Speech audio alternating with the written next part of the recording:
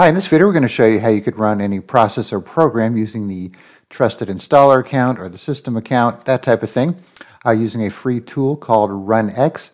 So there are two executables once you download it. There's the RunX exe, which is for the GUI, then the RunX command for the command line information. So if you look at the README here, so RunX exe for the graphical user interface, and you can use command line arguments with the graphical user interface if you want to. And you could also drag and drop a file into the window to have it automatically populate if you don't want to browse for it. And then there's the command line version if you use that for scripting purposes, but we're just going to be going over the GUI in this video.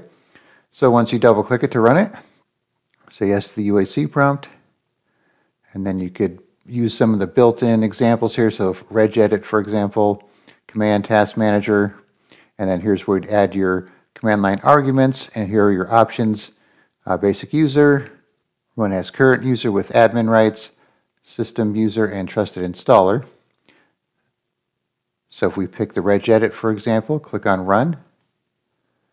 So it opened it using the trusted installer permissions, even though you're not going to know for sure, but you're going to have to take its word for it. But if we were to do it again, so each time you close, you got to open it up again. And let's say we do basic user, which can't run regedit because it doesn't have admin rights, and we'll see what happens here. Requires elevation, so it needs current user with admin or better. And then if you want to browse to your own program here, so let's say we want to do this precise stress executable here. And we'll do that as an trusted installer as well.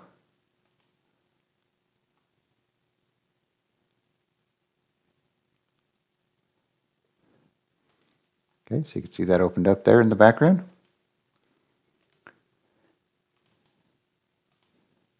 And let's try that one more time.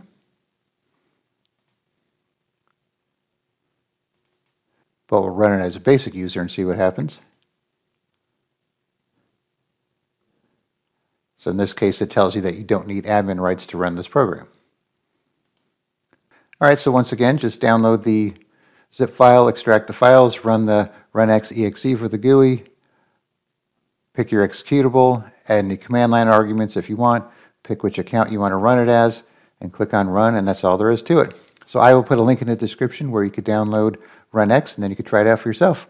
All right, thanks for watching, and be sure to subscribe.